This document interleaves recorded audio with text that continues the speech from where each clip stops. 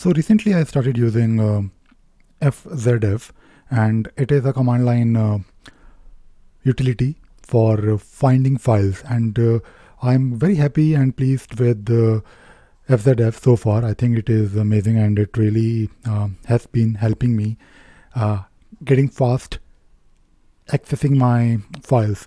Now let me let me show you how it works and uh, uh, the way it works is if you are if you are on terminal and of course right now you may have uh, uh, this uh, directory. Let us say in this case my home directory. So right now I'm within my home directory.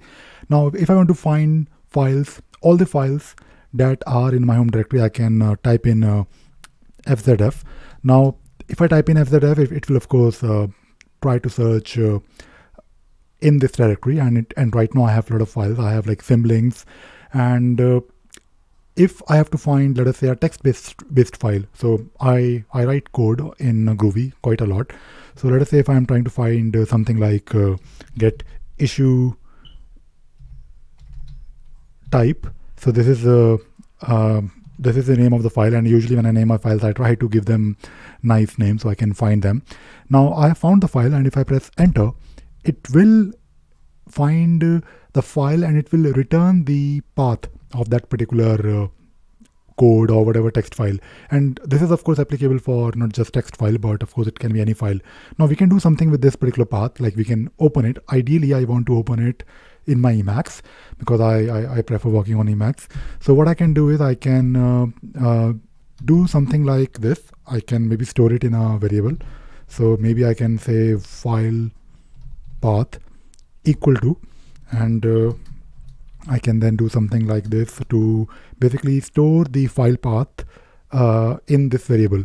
So if I do again the same thing, I'll try to find the file. And by the way, uh, the the way it can search is amazing. I mean, it is absolutely uh, brilliantly written utility. I, I think uh, I uh, will continue to use it for uh, all my needs. I have mostly focused on using uh, nothing but uh, the basic terminal commands.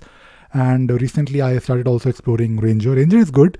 I I think Ranger is also uh, amazing, but FZF is uh, really good in finding the files based on the name and it is uh, really fast and I believe uh, you can once you find the file once you find the file path you can easily open it within like seconds. So if I open the same file again, this time I don't get anything because uh, uh, the, the path is actually stored in this variable.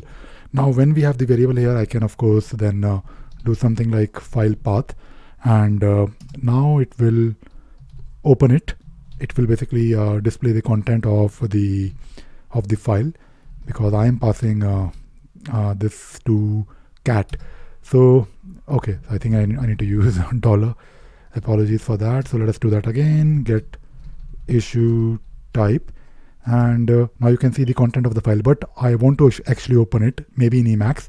So what I can do I can do something like Emacs hyphen NW NW is a no, w, no window mode because I prefer working on um, terminal. And, and, and I I'm happy with it. I mean you don't have to but if I press enter now we have of course the same thing exact same thing so far so let us say if I'm trying to do something I can uh, then uh, file, find the file.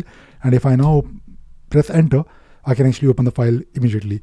So this is great. And uh, and the good thing about uh, this uh, this setup is that uh, I can now write a shell script to use FZF fuzzy finder to find files and also open them. And the, the, the shell script that I have is uh, this one. Let me just show you very quickly. So this is a file, a shell script, which is of course in my scripts folder.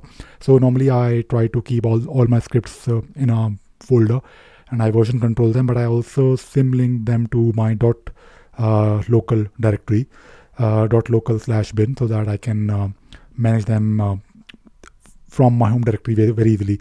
And also, of course, these these scripts are in my path.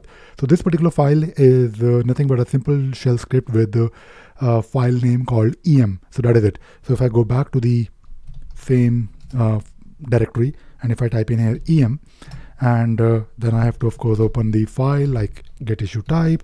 I can open it. Let us open something else like get issue links.